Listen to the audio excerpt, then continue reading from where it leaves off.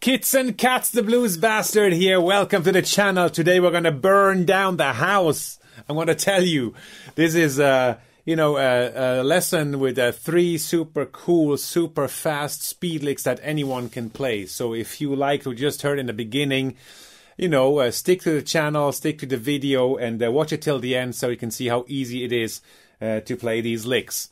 So let's calm down a little bit and, uh, you know, uh, yeah, get serious. First of all, if you like it, obviously, you know, gently hit the subscribe button or the like button or both in the best case. And uh, if you want to support my band, there's some, uh, you know, some links down there in the in the description if you want to listen to some other cool music.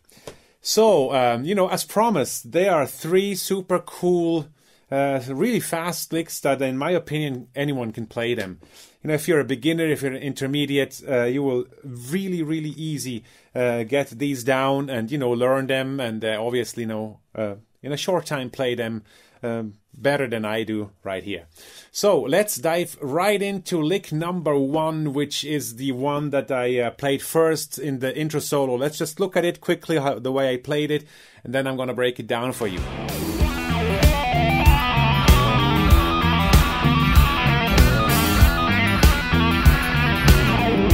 Okay, let's look at lick number one, which is uh, very, very simple. By the way, we're in the key of E. So uh, E minor pentatonic, uh, you know, is the base of this lick, although we have different notes that are not in the E minor pentatonic.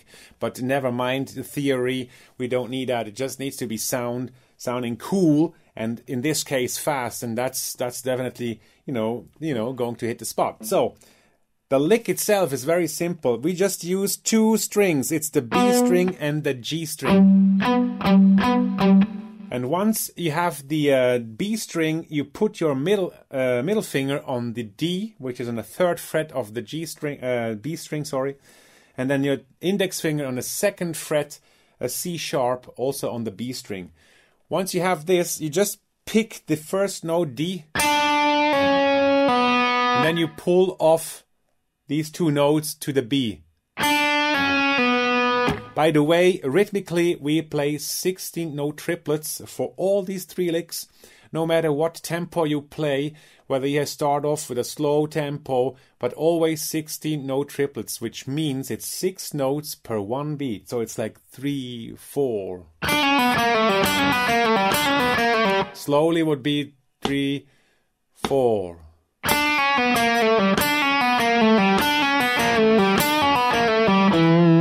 So it's almost harder to play it slow than fast, you will see.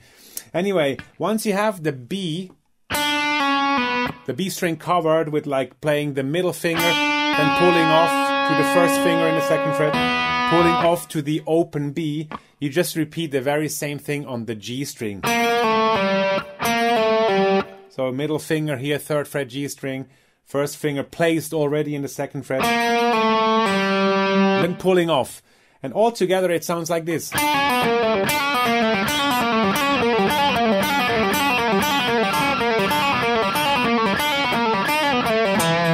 So you actually should learn this by you know uh, playing playing it slowly and make sure that you're synchronized with your with your whether you pick the middle finger. This will be a starting tempo, obviously, to start off with, and you know, gradually increase the tempo once you're fine with it.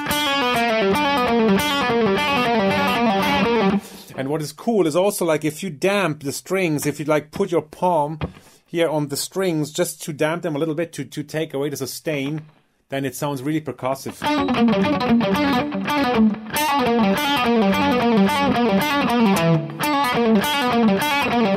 Sometimes it doesn't really, you know, sound so proper, uh, but, uh, you know, trying my best. Anyway, this was lick number one. Hope you like this one. Let's jump into number two.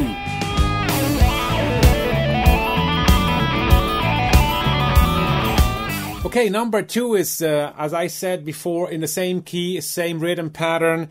It's uh, even easier than the first one. The number two looks like this. So all you gotta do is like to play the B string open, hammer on to the D, in the first, uh, in the third fret of the B string, pull off, and play the open E string. So this is the whole pattern you have to do. Uh, sorry, of course. Once you play the open E string, uh, you go back down, hammer on to the D, and pull off again. So it's like. And I don't pick the one D that I hammer on after I picked the uh, after I picked the high E string. Once you play it fast, it doesn't, you know, it doesn't. You don't need to pick this because it sounds like this.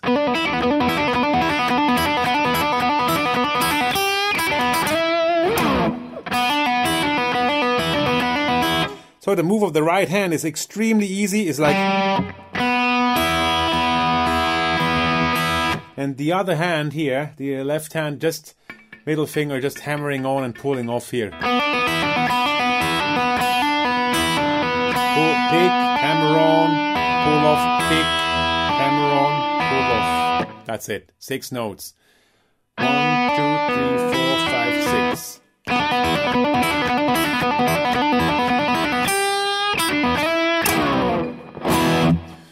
Well, that was number two. You know, have fun practicing it. Same thing here. Start slowly. Sorry.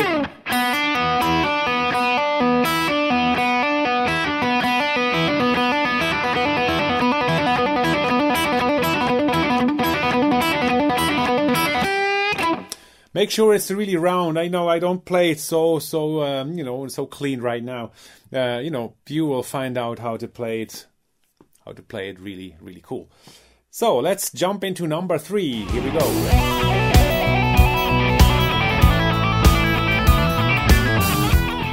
Okay, back with number three. This is, uh, you know, spectacular. It sounds spectacular and it looks spectacular, but it's uh, extremely, extremely simple. Here we play with the open B and E strings, and what we do simply is now this is now a completely just E minor pentatonic. So we hammer on. So we play the uh, B string first, sorry. We hammer on with our index finger into the third fret of the D, uh, B string. After that, we immediately hammer on with the ring finger to the E, which is the, on the fifth fret of the B string. And then we repeat this exactly same pattern on the E string. So it's like E.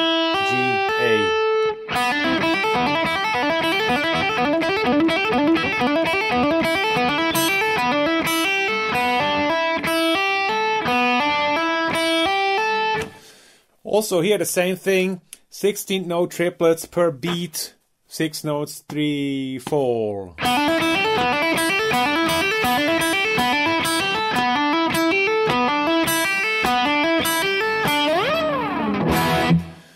And uh, even here you can like, uh, you know, put your palm down and make it, uh, you know, sound more percussive, something like this.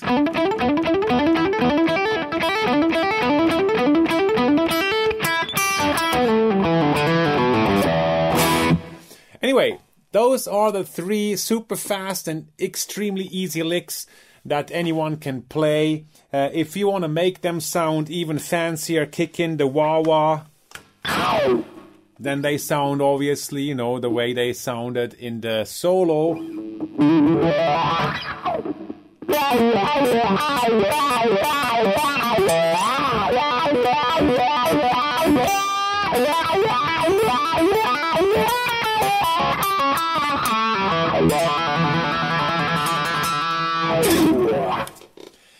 Thank you so much for watching. Please uh, hit the like button if you didn't do it yet. Uh, subscribe if you didn't do it yet. And, uh, you know, support my band. There are some really cool links below in the box.